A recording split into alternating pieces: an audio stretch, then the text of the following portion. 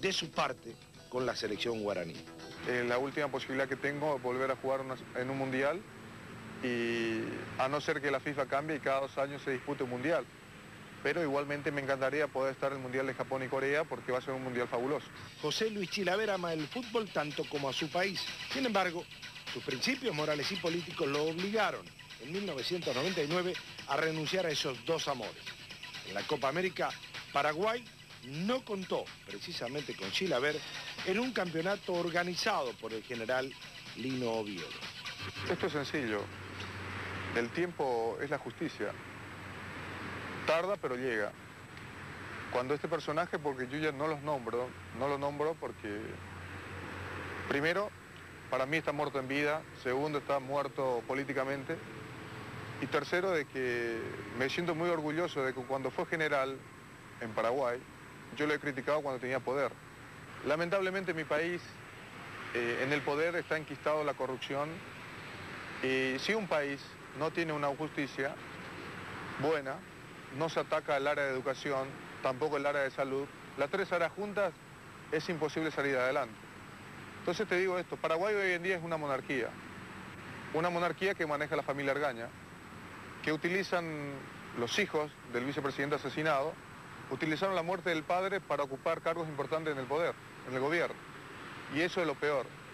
Y me di cuenta que la gente en Paraguay cada vez está pasando situaciones muy penosas y a los políticos no les interesa. A ellos les interesa llenarse los bolsillos y que en definitiva en mi país lamentablemente no hay ni una persona que demuestre honestidad para poder sacar al país adelante. Todo lo que yo he manifestado de la Copa América, que Paraguay que iba a ser un fracaso, lo fue, la gente, por ejemplo, decían de que Chilaver estaba equivocado al comienzo, los periodistas me criticaron. Hoy en día me dan la razón. Pero es fácil, primero jugarse el pellejo uno mismo y primero criticarlo a uno y después decir, no, Chilaver tenía razón. Yo lo dije en su momento. Y la gente sabe perfectamente que cuando yo digo una cosa, no, es muy difícil que lo erre. Controversial, frontal, discutido, quizá uno de los mejores arqueros un triunfador sin duda que sabe que algún día llegará el fin de su carrera y como todo en la vida lo enfrentará con ese sentido común que lo ha caracterizado. Los futbolistas tiran un mensaje y dicen, si un día me levanto y no tengo ganas de ir al entrenamiento es el día de que me retiro. Yo digo de que el día de mañana vengo a un entrenamiento y veo que la pelota agarró velocidad, y yo quise sacar la mano para taparlo y la pelota me pasó, quiere decir que los reflejos ya no responden y es el momento de dar un paso acostado. Pero es importante, hay que ser inteligente y saber retirarse a tiempo. Qué bueno que sigue con nosotros. Además de visitar a los 32 equipos que toman parte en la Copa Mundial, viajaremos por los cinco continentes para conversar con algunas de las más grandes estrellas que veremos en Corea y Japón este verano.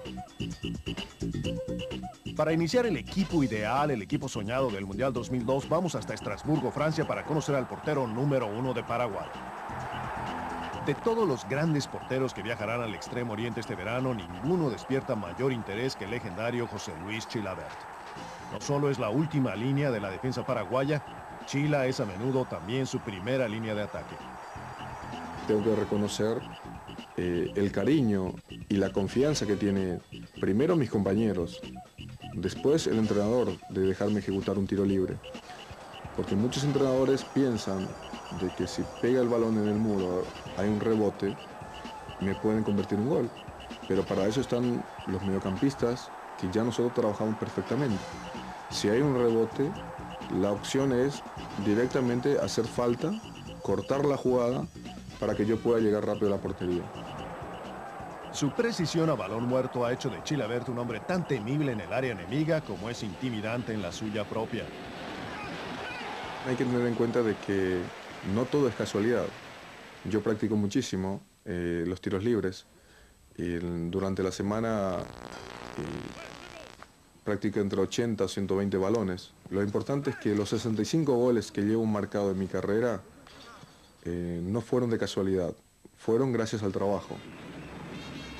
Luego de Francia 98, este mundial será el segundo consecutivo para Chilabert y Paraguay. Para mí era la primera vez que jugaba un mundial. Para todos era la primera vez. fuimos el primer partido contra Bulgaria, empatamos 0 a 0. Al ver que le jugamos de igual a igual a Bulgaria, nosotros nos dimos cuenta que podíamos más. A la vez jugamos contra España, un gran partido. Y los españoles pensaron que nos iban a pasar por arriba, que con los nombres y con los contratos millonarios que tenían sus jugadores, que iba a ser un partido fácil. Empatamos 0 a 0 y eso fue prácticamente lo que le costó a España salir del Mundial. El número uno paraguayo juega actualmente con el club Estrasburgo de la segunda división francesa. Es uno de los grandes sudamericanos que han salido a Europa para prepararse lo mejor posible para este próximo Mundial. Siempre es mejor eh, tener jugadores con mucha experiencia, porque los mundiales se ganan con jugadores con experiencia. Paraguay tiene un gran equipo, tenemos un bloque muy sólido. Eh, lo interesante es que no nos debemos confundir, debemos pensar de que nosotros somos iguales que todos, pero no superiores ni inferiores. Somos iguales. Una controvertida suspensión ganada durante la eliminatoria hará que el primer juego de Chilaverte en el Mundial sea contra España, lo cual significará verlo jugar ante Raúl. Pero Chilaverte está feliz de enfrentarse a los mejores delanteros y mediocampistas del mundo. No les tiene miedo alguno. Me gusta mucho ver los jugadores como Rivaldo, como le pegan al balón, Zidane mismo con las jugadas que hacen. En el mismo caso, eh, Figo cuando va por, por la banda derecha y tira esos centros que son muy difíciles para los porteros. El mismo caso de, Raúl, que trata siempre de hacer la jugada muy simple. Hay que cuidarse mucho de ellos, pero da placer jugar en contra de ellos también. A juzgar por sus pasadas actuaciones, Chilaver podría ser titulares en cualquier encuentro, pero su mayor sueño sería hacer historia en el juego contra España.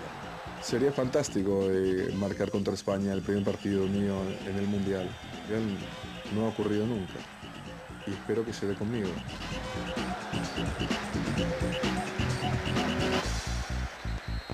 Seguimos enfocados